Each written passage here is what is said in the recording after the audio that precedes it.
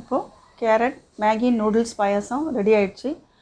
இதில் முந்திரி வறுத்த நெய்யில் வறுத்த முந்திரி பிஸ்தா பாதாம் குங்குமப்பூ எல்லாம் டெக்கரேட் பண்ணியிருக்கிறேன் இதில் இதை ஃப்ரிட்ஜில் வச்சு ஒரு ரெண்டு மணி நேரம் கூலிங்கில் வச்சுட்டு எல்லாருக்கும் சர்வ் பண்ணுங்கள் ரொம்ப சூப்பராக இருக்கும்.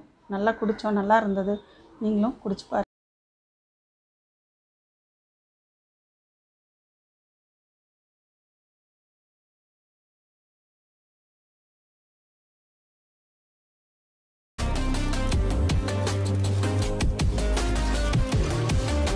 ரவி அறுசுவை சமையல். நம்ம இன்றைக்கி பார்க்க போகிறது மேகி நூடுல்ஸ் கேரட் பாயாசம். இது ஏற்கனவே நான் கேரட் கீர் பண்ணியிருக்கேன்.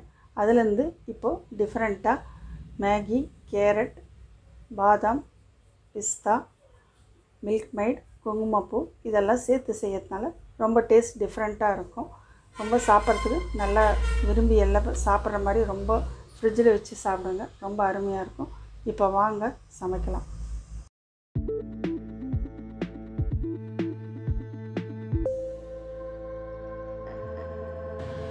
கேரட் அரை கிலோ மேகி ஒன்று குங்குமப்பூ கால் டேபிள் ஸ்பூன் முந்திரி பத்து பாதாம் பத்து மேல் தோல் நீக்கி வச்சுருக்கிறேன். முந்தி முந்திரி பொடியாக கட் பண்ணி வச்சுருக்கிறேன். பிஸ்தா பொடியாக கட் பண்ணி வச்சுருக்கிறேன். ஏலக்காய் தூள் கொஞ்சம் மில்க் மைடு ஒரு டூ ஹண்ட்ரட் எம்எல் பாதாம் பொடியாக கட் பண்ணி வச்சுருக்கேன் இதோட பால் ஒரு லிட்ரு காசி ஆ- காசி வச்சுருக்கேன். பால் அகற்று சேர்க்கலாம் பால் கொதி வரட்டும். பால் நல்லா கொதி வந்துடுச்சு. இப்போது கேரட் சேர்த்துடலாம்.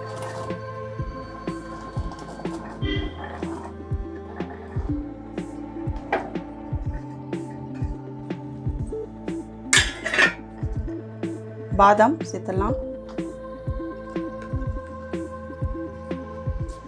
முந்திரி சேர்த்துடலாம். நல்லா கலக்கி விடலாம். ஒரு பத்து நிமிஷம் வேகணும். கால் மணி நேரம். பத்து நிமிஷத்துலேருந்து கால் மணி நேரம் கேரட் கேரட் நல்லா வேகட்டும். பார்க்கலாம்.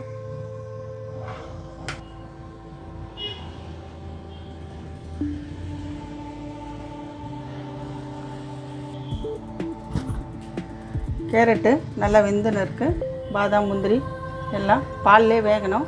ஒரு பத் கால் மணி நேரம் வேகட்டும். வெந்தோடனே இது மிக்சியில் அடிக்கணும் ஆற வச்சு.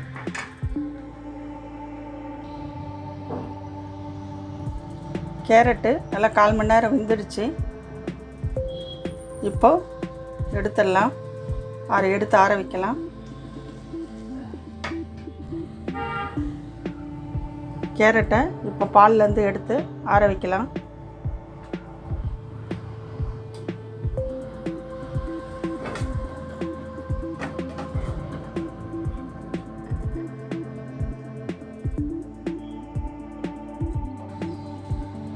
கேரட்டை நல்லா தட்டில் ஆற வச்சிடலாம். மிக்சியில் போட்டு அரைச்சின்னு வந்துடலாம்.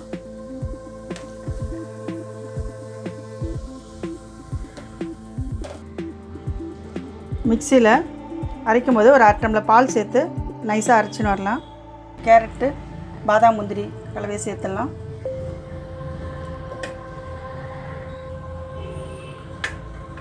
மிக்ஸி ஜாரில் பாலை கலக்கி மீதி இருக்கிற பாலை கலக்கி சேர்த்துடலாம். இப்போ மீதி இருக்கிற அரை பா அரை லிட்டர் பால் கலவையை சேர்த்துடலாம். இப்போது நல்லா கலக்கி விடலாம்.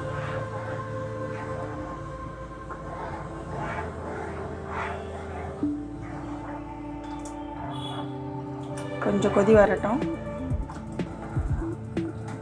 இப்போது கேரட்டு ரொம்ப திக்காக இருக்குது இன்னும் மேகி வேறு வேகணும். அதனால் ஒரு ஒரு டம்ளர் தண்ணி சேர்த்துக்கலாம்.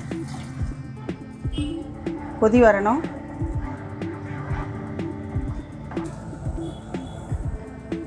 கேரட் கொதிக்கிறதுக்குள்ளே மேகியை நீல வாக்கில் கட் பண்ணி வச்சுக்கலாம். கேரட் கீரை நல்லா கலக்கினே இருக்கணும். இப்போது நல்லா கொதி வருது கேரட் கீரை. இந்த டைமில் மேகியை சேர்த்துடலாம். நல்லா கொதி வரட்டும் இது. வெந்து வரட்டும் மேகி. பார்க்கலாம்.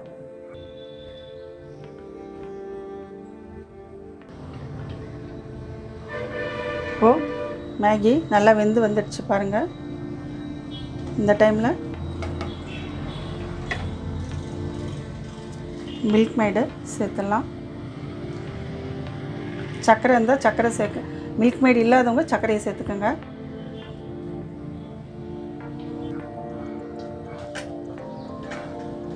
மில்க் மேடு சேர்த்தாச்சு. இப்போது சுகர் கரெக்டாக இருக்கா செக் பண்ணிக்கலாம். இனிப்பு ஒரு அஞ்சு டேபிள் ஸ்பூன் சர்க்கரை சேர்த்துடலாம். ஏலக்காய் தூள் ஒரு டேபிள் ஸ்பூன் சேர்த்துடலாம்.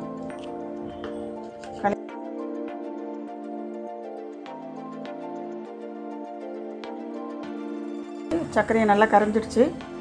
இப்போது ஒரு கொஞ்சோண்டு குங்குமப்பூ சேர்த்துடலாம்.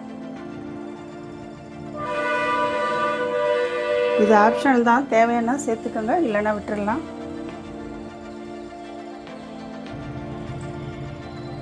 இப்போது நல்லா மேகியும் வெந்துடுச்சு. பாருங்கள் நல்லா ஆல்மோஸ்ட் கரெக்டாக ரெடி ஆகிடுச்சு payasam. Maggi carrot payasam ready ஆகிடுச்சு இப்போது இப்போது சின்ன கரண்டியில் ஒரு ஸ்பூன் நெய் விட்டுக்கலாம்.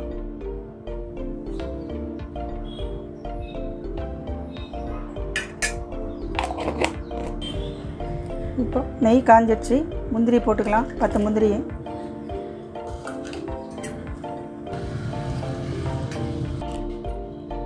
முந்திரி வர்த்தனையை பாயசத்தில் சேர்த்துடலாம். இப்போது பரிமாறலாம்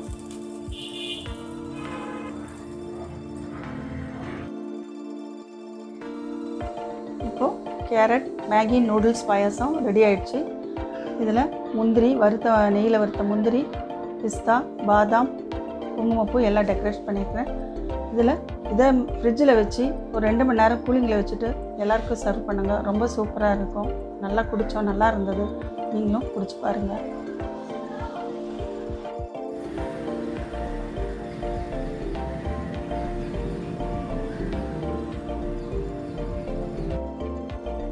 இந்த கேரட் மேகி நூடுல்ஸ் பாயாசத்தை நீங்கள் வீட்லேயே செஞ்சு பாருங்கள் இதுக்கு தேவைப்பட்டால் பாலை சேர்த்துக்கோங்க. இது ஃப்ரிட்ஜில் கண்டிப்பாக ஒன் ஹவர் கழித்து வீட்டில் பரிமாறுங்க. விசேஷம் இருந்தால் இது செஞ்சு கொடுங்க. ரொம்ப சூப்பராக இருக்கும். ஓகே வியூவர்ஸ் இந்த வீடியோவை பிடிச்சிருந்தா லைக் பண்ணுங்கள் கமெண்ட் பண்ணுங்கள் ஷேர் பண்ணுங்கள் எங்கள் சேனலுக்கு சப்ஸ்கிரைப் பண்ணுங்கள் தேங்க்யூ